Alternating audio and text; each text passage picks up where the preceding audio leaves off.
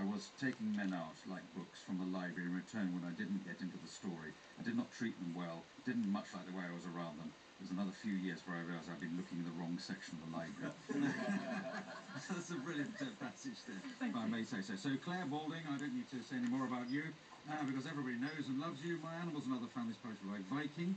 Um, and you've got a new series of ramblings on radio Yes. called Wildlife Walks Around the UK. Starts on Thursday. I'm actually recording on Monday in Dublin, so we haven't finished doing the series yet. But one of them is fascinating. I walked with three taxidermists, and I've never really talked to taxidermists before, and they were fascinating. All right.